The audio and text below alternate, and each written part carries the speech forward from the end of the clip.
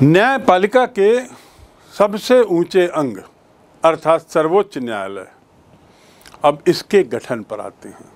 अभी हमने तो ये समझा, ये जाना कि भारत की न्याय व्यवस्था एकीकृत है, अर्थात सर्वोच्च न्यायालय के अंतर्गत सब आते हैं।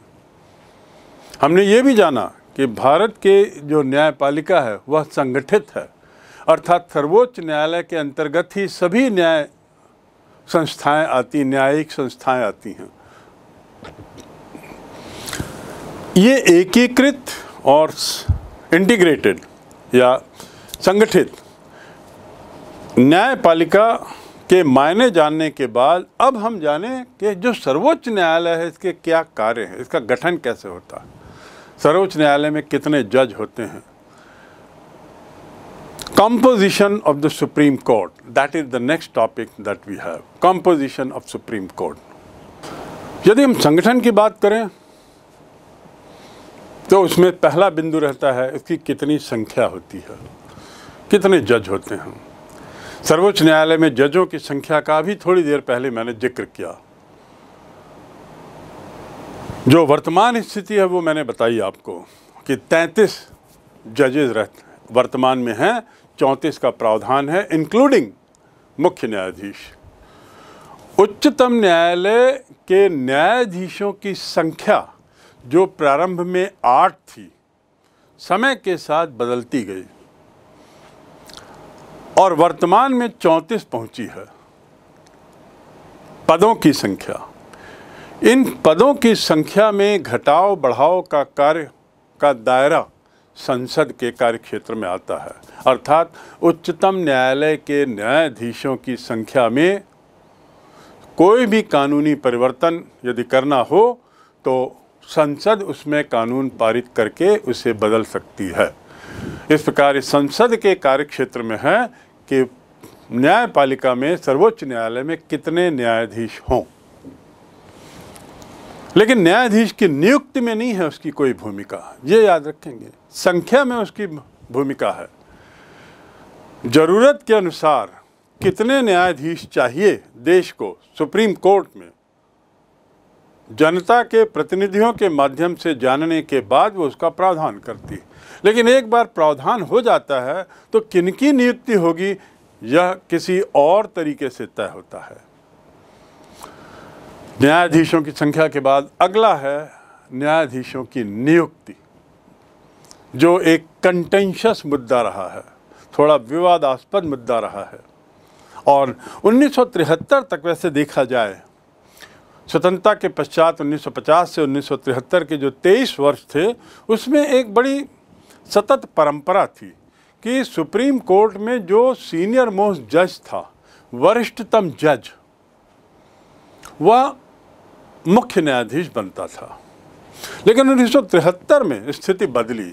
जब पहली बार तत्कालीन प्रधानमंत्री श्रीमती इंदिरा गांधी ने सुप्रीम कोर्ट के चार वरिष्ठतम जजों को के स्थान पर पाँचवें जज को मुख्य न्यायाधीश बनाया, जिनका नाम था श्री ए एन रे, श्री अजित नाथ रे।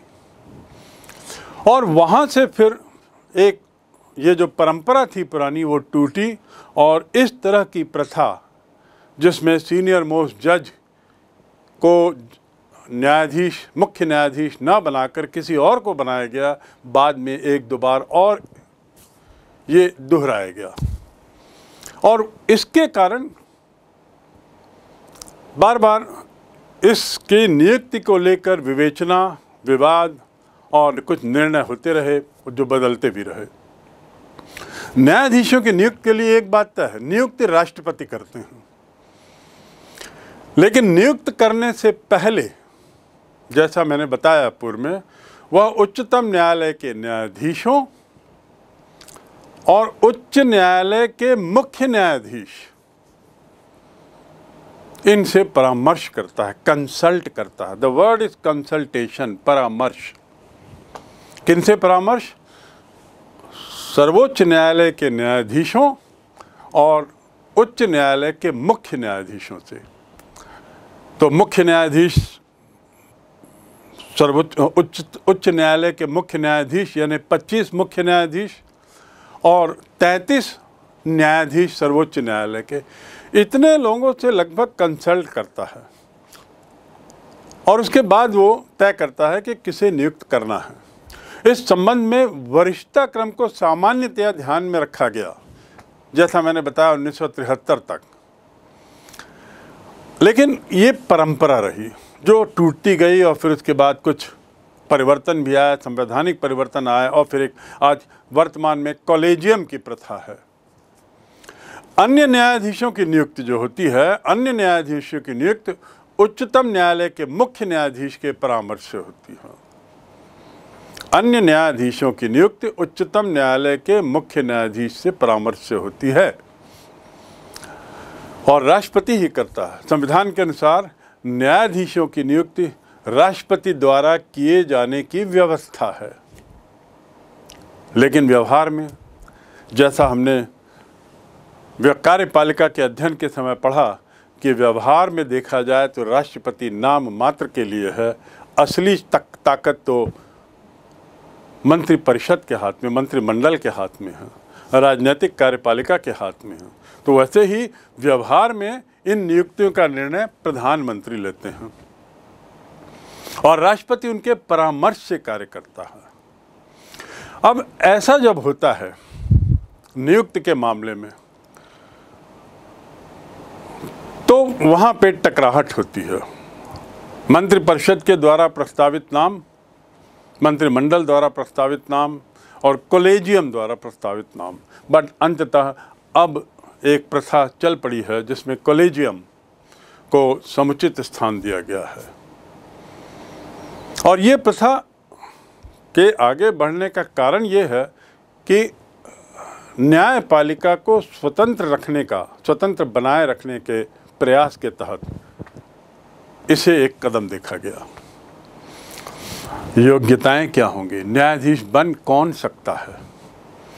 ये एक बहुत महत्वपूर्ण चीज़ है। किसे न्यायाधीश बनाया जा सकता है? पहला, भारत का नागरिक हो। दूसरा, अधिकतम आयु पैंसठ वर्ष हो। उम्र के मामले में अधिकतम आयु पैंसठ वर्ष। देखिए, बाकी जो हमने राष्ट्रपति, उपराष्ट्रपति और ये सब पढ़ा मंत्रिपरिषद और सांसद और विधानसभा सदस्य, इनकी न्यूनतम आयु के बारे में पढ़ा। इनकी आयु जब भी हमने पढ़ी तो योग्यता के नाम पर हमने पढ़ा कि इन लोगों की न्यूनतम आयु ये होनी चाहिए।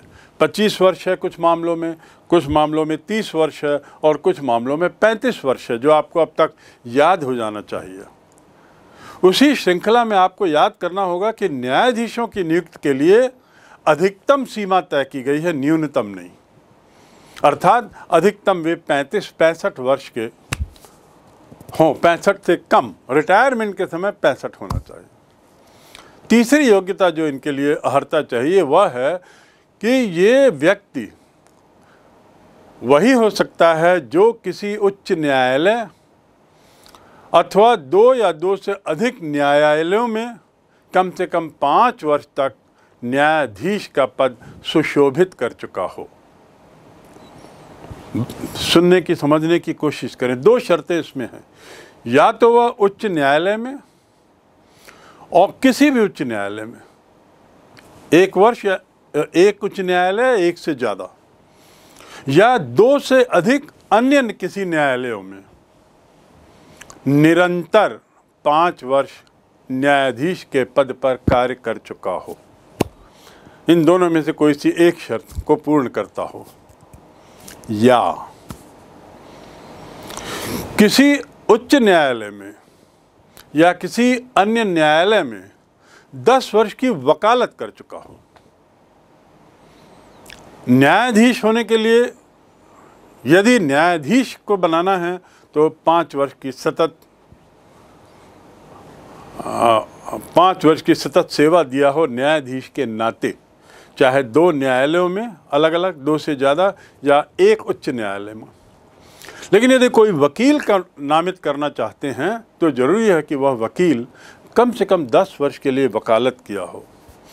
किसी उच्च न्यायालय में या अन्य न्यायालयों में। अन्य न्यायालयों से तात्पर्य है, जिला न्यायालय। यहाँ पर वह सेवा दिया हो, यदि दस वर्ष तो उसे न्यायाधीश के पद पर नियुक्त किया जा सकता है। या अथवा राष्ट्रपति की राय में वह व्यक्ति एक पारंगत विधि वेदता हो, ये बहुत आवश्यक है समझने के लिए। राष्ट्रपति की राय में पारंगत विधि वेदता विधि वेदता से अर्थ है कानून का ज्ञाता। इसके अर्थ ये हुए कि ज़रूरी नहीं कि वह न्यायाधीश रहा हो, ज़रूरी नहीं कि वह वकालत किया हुआ हो। यदि वह एक प्रसिद्ध विधि वेदता है, कानूनों की व्याख्या करने में पारंगत है तो उसे भी राष्ट्रपति न्यायाधीश बना सकते हैं। ऐसे कौन लोग हो सकते हैं जो न्यायाधीश ना भी हों और वकालत ना भी किए हों और फिर भी न्याय के मामले में विधिवेत्ता के रूप में जाने जाते हों?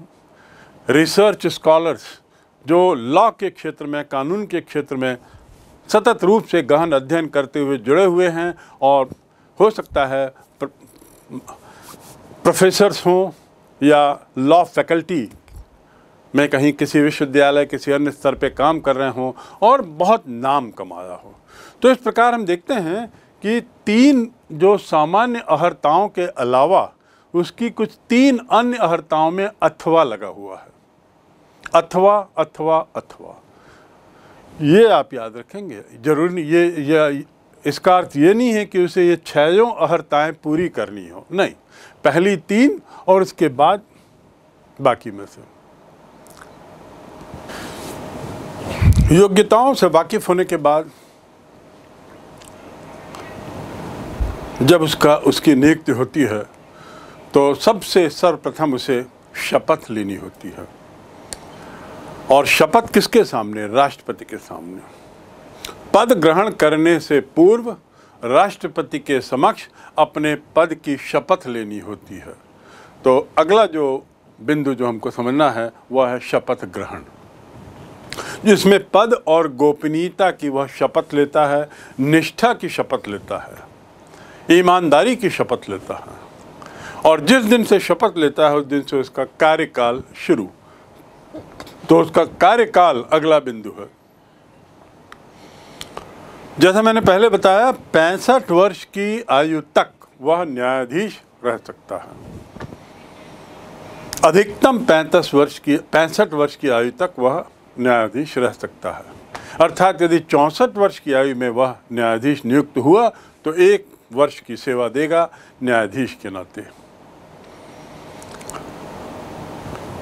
चाहे तो न्यायाधीश त्याग पत्र भी दे सकता है। इससे पूर्व यदि किसी को किसी कारणवश अपनी सेवा से हटना है तो वह त्याग पत्र देके ऐसा कर सकता है, स्वेच्छा से त्याग पत्र देके। अब अंतिम बिंदु है महाभियोग। महाभियोग के बारे में पूर्व में विस्तार से बताया जा चुका है। अंग्रेज़ी में जिसे इम्पीचमेंट कहते हैं। और महाभियोग सामान्यतया राष्ट्रपति के लिए और मुख्य न्यायाधीश के लिए होता। ये प्रावधान इसलिए किया गया है कि इनको नियुक्त तो किया जा सकता है, किया जाता है कार्यपालिका के द्वारा, पर हटाने की प्रक्रिया कॉम्प्लेक्स की गई है। थोड़ी कठिन कर दी गई। क्यों? ताकि उन्हें किसी भी प्रकार से सरकार के दबाव का भय न रहे। महाभियोग की प्रक्रिया क्या और कैसे होती है? यदि संसद के दोनों सदन अलग अलग अपने कुल सदस्यों के बहुमत तथा दोनों सदनों के बैठक में उपस्थित मत देने वाले सदस्यों के दो तिहाई बहुमत से एक प्रस्ताव पारित कर दें, जिसमें इसको अयोग्य या आपत्तिजनक आचरण करने का प्रमाण दे दें तो उसे अपने पद से त्याग देना होता है। भाषा को समझें। ध्यान देने लायक बात जो है, वो है कि सदन के दोनों सदनों की अलग अलग जो संख्या है, उसका बहुमत। और साथ ही दूसरी शर्त यह है कि जो उपस्थित हैं अलग अलग उन उपस्थित सदस्यों का दो तिहाई सदस्य। यदि इनके आपत्तिजनक आचरण करने वाला प्रमाणित कर देते हैं तो भारत के राष्ट्रपति के आदेश से उस न्यायाधीश को पद से हटाया जा सकता है। उसे हटना होगा। हाँ महाभियोग का जब आरोप लगता है तो न्यायाधीश को अपना पक्ष रखने का पूरा अवसर भी मिलता है।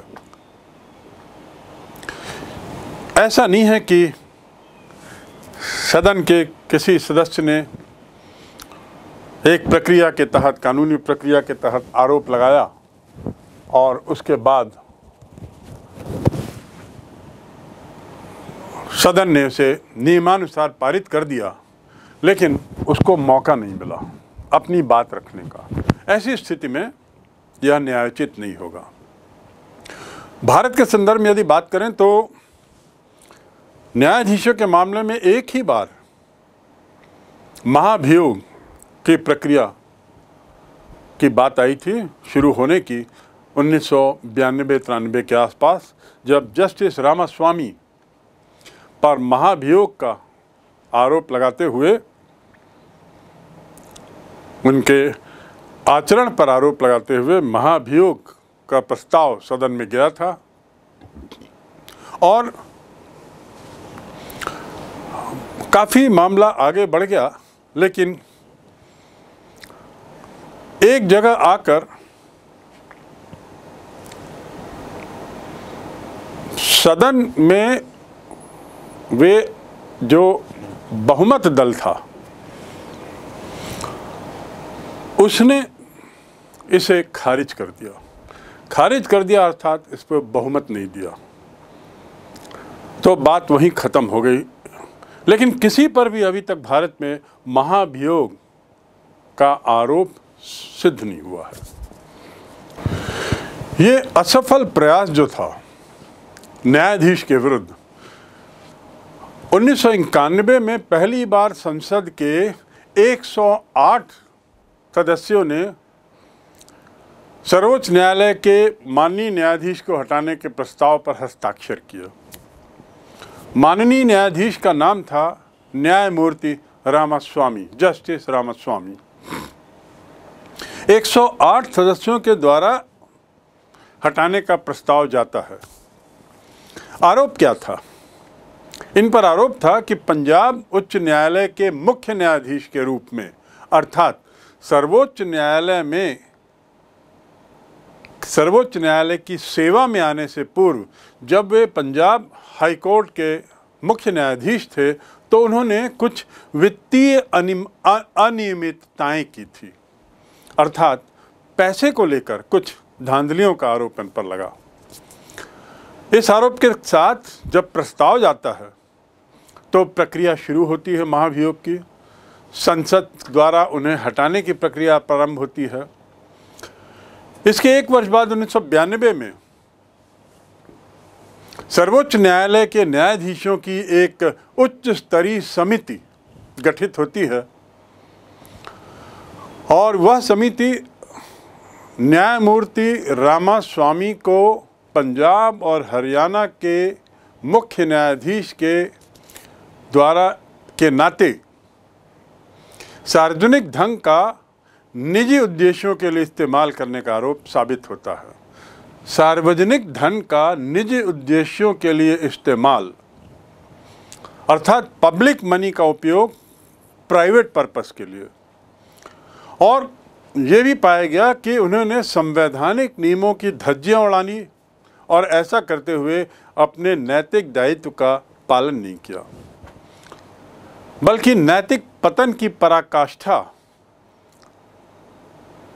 और साथ ही पद का जानबूझकर दुरुपयोग इस तरह के आरोप इन पे लगाए गए संपत्ति के मामले में और इसके साथ ही साथ नैतिक पतन के मामले में।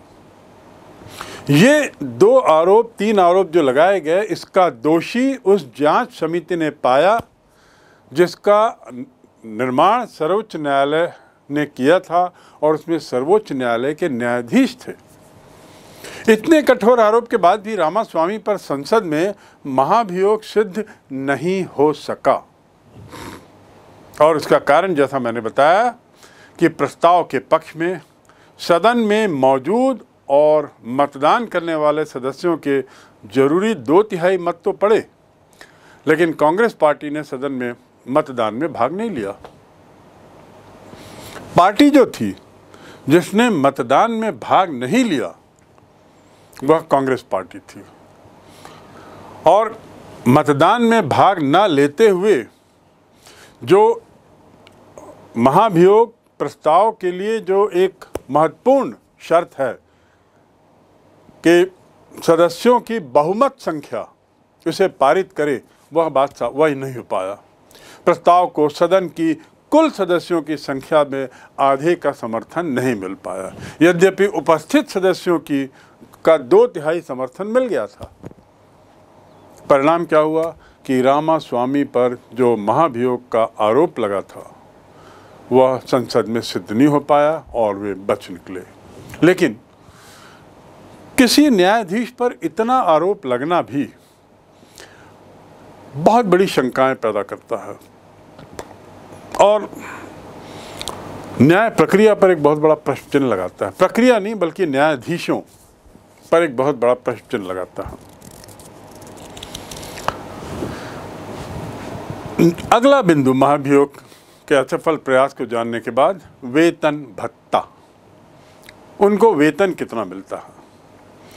जो न्यायाधीशों का वेतन आदि होता है, वह समय समय पर संसद के द्वारा निश्चित किया जाता है। और जैसा मैंने कहा, प्रयास ये रहता है कि न्यायाधीशों का वेतन और भत्ता पर्याप्त हो ताकि वे भ्रष्टाचार के लिए विवश ना हो। सम्मानजनक हो ताकि उनकी निष्ठा प्रतिष्ठा बनी रहे। तो इस प्रकार वेतन और भत्ता संसद के द्वारा समय समय पर तय किया जाता है।